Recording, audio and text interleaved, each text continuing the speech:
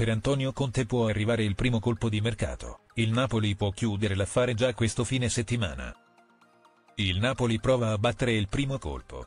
Antonio Conte si aspetta interventi importanti nella rosa azzurra e bisognerà fare acquisti di livello soprattutto nel reparto arretrato. La difesa è stata il tallone di Achille nella stagione appena conclusa, tanto è vero che la squadra partenopea soltanto in sei occasioni è riuscita a tenere la porta inviolata.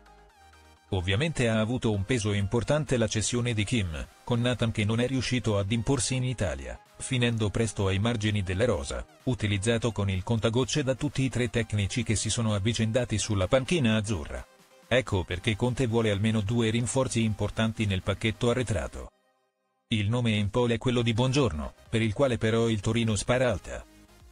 Ma c'è anche un'altra occasione che il Napoli sta provando a cogliere, quella di prendere Mario Hermoso a zero.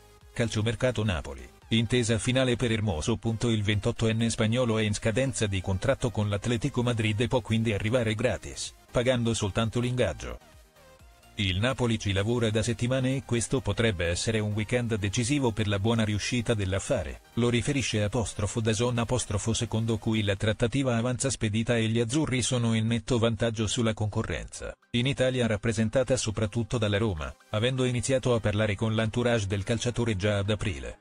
Si parla di possibili sviluppi nel fine settimana, con le parti che lavora all'intesa finale per un contratto quadriennale con opzione. Hermoso, 45 presenze complessive la scorsa stagione con l'Atletico Madrid, nei mesi scorsi era stato accostato anche alla Juventus e all'Inter. Ora è il Napoli a guidare la volata con Conte che potrebbe avere il primo rinforzo per la sua retroguardia.